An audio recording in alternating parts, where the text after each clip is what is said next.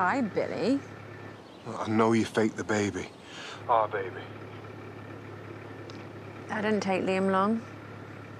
He really does hate me, doesn't he? What? I'll talk to you. But not in the village. Liam has issues with me. He's telling lies, so I'm lying low.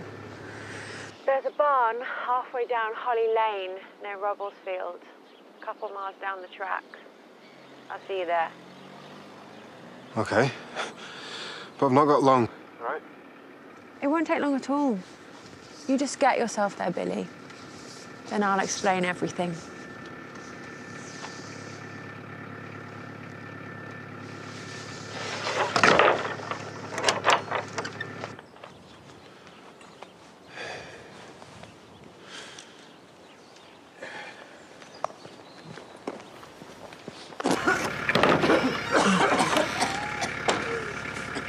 Sorry to interrupt.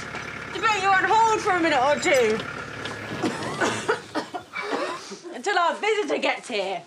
Another guest at our party. How much fun can one girl take? Just think of that as your dress rehearsal.